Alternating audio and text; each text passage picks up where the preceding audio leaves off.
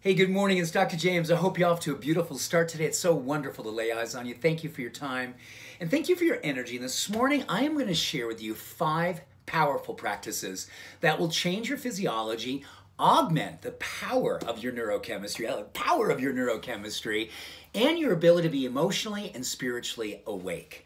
And this is all about something I've been really geeking out on over the last few months as I've been looking at how it is that in life more and more we're too tired to keep running, but we're too scared to stop. Just let that settle inside of you for just a moment. Too tired to keep running, but you're too scared to stop. And I'm going to share with you five practices that I have been working on in my life over the last number of years, based on some tremendous science about how it is that we can intervene with this stress cascade that is becoming more and more hardwired into our system. It's called sympathetic dominance, the sympathetic nervous system, which is all about stress. And what we're finding more and more in our society is that this level of hypervigilance, this level of having our guard up, is literally destroying our lives. It's creating creating inflammation, it's creating cellular death. I know, right? It's like, oh my gosh, really? Yes. But probably more than anything else, you know when you're feeling that sense of defensiveness, you're feeling that sense of dread and fear. So I'm going to share with you five practices that are super simple, they're scientifically based, and they are liberating.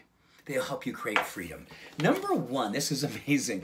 Studies show that two seven second hugs a day will literally increase oxytocin, which is your love hormone, but at the same time, lower the energy or the circulatory benefits that are heading towards the amygdala.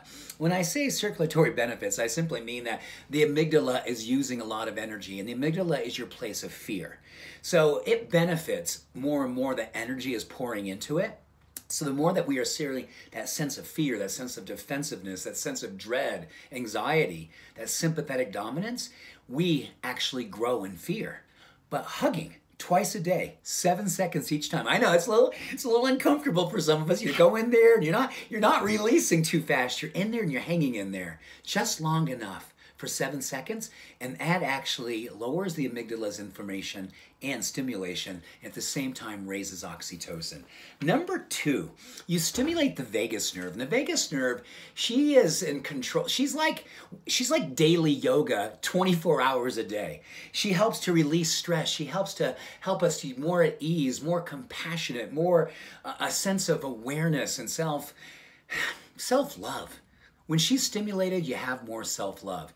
A cold shower, 20 seconds ideally. Finishing your shower with just 20 seconds of cold water stimulates the vagus nerve. Don't be afraid to sing or scream while you're doing it. It totally stimulates that activity.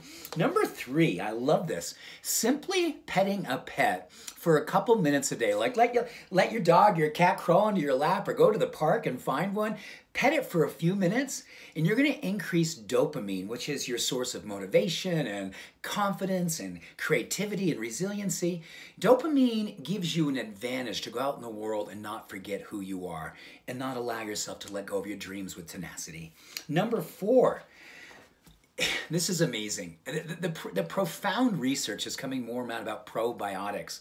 Whether you're getting them through yogurt, whether you're getting them through kimchi and uh, fermented foods, whether you're getting them by just getting your microbiome stimulated, by getting your hands in the dirt, find a good source of probiotics and stimulate them every single day because it's one of the number one drivers for lifting serotonin, which is your lifter of happiness and resilience.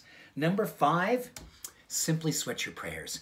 Dedicate yourself. All motion creates positive emotion.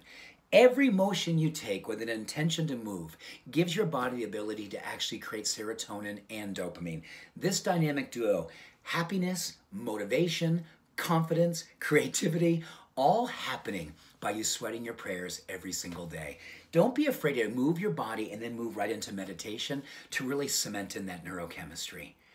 This is an interesting time, and many of us are feeling this sense of being too tired to keep running, being too scared to stop, and looking for an intervention strategy. Let these five practices be an intervention strategy that changes your life. I love you. I believe in you. Have a beautiful day. Bye for now.